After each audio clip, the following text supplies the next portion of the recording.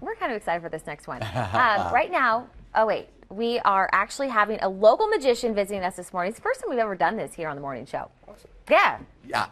And it's Kevin. We're just our teleprompter's a little off. So Kevin That's right. Viner, you're a local magician. I mean, you're from Carlsbad. You went to Carlsbad High, right? Yep. right. So Oh, you're using cards playing uh, to do tricks, and also your mind, which makes you a mentalist. Yes, so I'm which a means- mentalist, uh, which basically uh, I've taken skills I've learned with sleight of hand.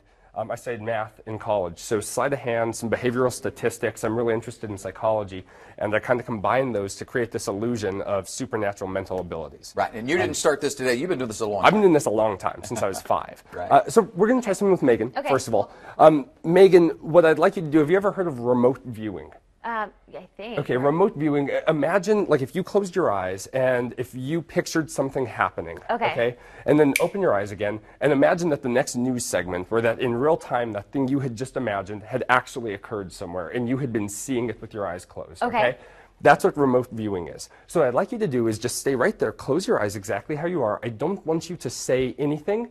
I just want you to pay attention to any kind of like touches or sensations you feel. Don't say a word, um, but pay attention. And if you feel more than one thing, you can stay still. It's okay. If you feel more than one thing, I want you to just remember the order you felt those. Now keep your eyes closed. Okay. But all I want, all I want is a yes or a no, okay? A yes or a no. Yes or no, did you feel anything at all? Yes.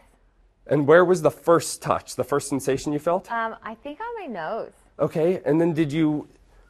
Did you feel did you feel something else? Did you feel a second touch at all? I feel something on my forehead, and I felt like someone was pulling my uh, IFB, but maybe that was. I just was the first one.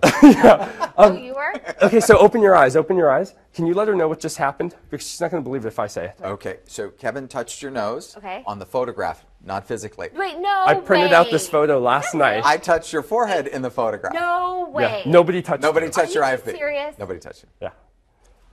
What? Are you it's in on it? Are you? Oh no, serious? it's not. Well, that's why we just did. That's why we just did a headshot. No, I- we were, I- so it couldn't have been the Everybody IFB. on, on Meg's That's Twitter page. incredible. Isn't that nuts?